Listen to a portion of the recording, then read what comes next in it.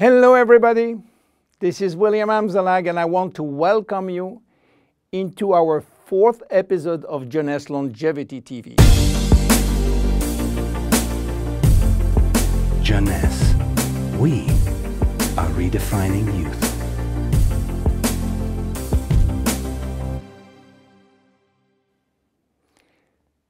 To be born is not a crime. So why should we be all sentenced to death? Is death inevitable? Well, you may be surprised to learn that aging and death has not existed forever.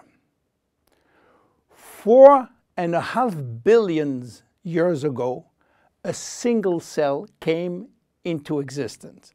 This single cell did not age. It had the capacity to divide indefinitely. But three billion years after, some of the cells started to form organisms such as worm, fish, and finally humans. However, these cells were aging, and their ability to reproduce indefinitely came to an end. And today we know why. Those cells, we call them somatic cells, contain a gene that controls the production of telomerase. And this gene was and still is turned off. Without the ability to produce telomerase, the telomeres will become shortened and cells will die. So why there is so much discrepancies in longevity between human and other animals? Let me give you some example. Have you heard about George? George is an American lobster which was born in 1869 and is now 140 years old. He was a sort of mascot in a New York restaurant and got released in the ocean in 2010. He's probably still alive. How come? Are lobsters immortal? Not exactly, but they do not die of old age because their telomerase is constantly turned on, so the cells do not die. However, they are sensitive to infection in their shell and they may die from this disease. In Japan, koi fish are known to live very long. They are beautiful fish, usually white with red spot. Some have been given names, and the most famous fish, Hanako, who died in July 1977, was 226 years old.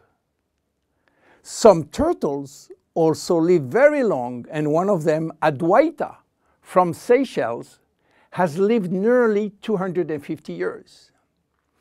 There are even some species which has indefinite longevity, like the bacteria called Arthrobacter, who can be dormant for thousands of years and suddenly wake up. Hydra is the most unique species defying death. When part of his body is cut off, the body regenerates in two or three days.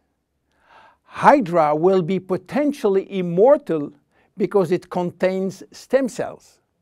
In case of injury, the stem cells differentiate to form the missing cells and rebuild the missing part.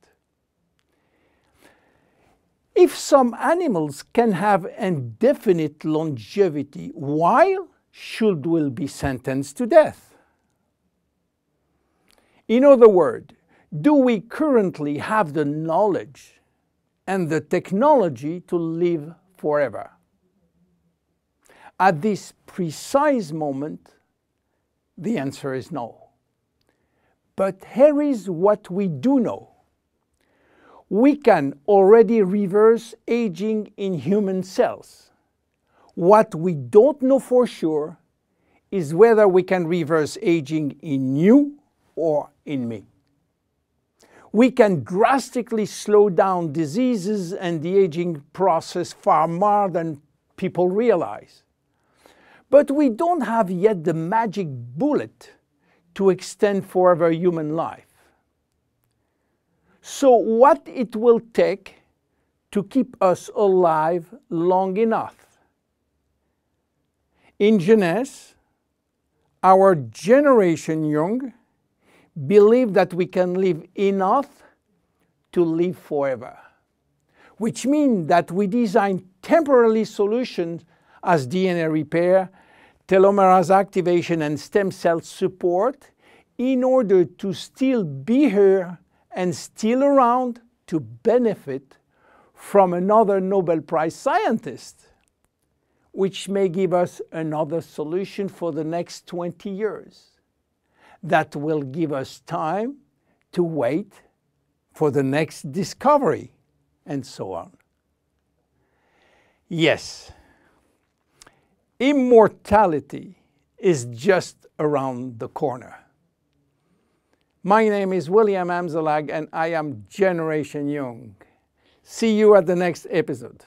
Thank you. Jeunesse. We are redefining youth.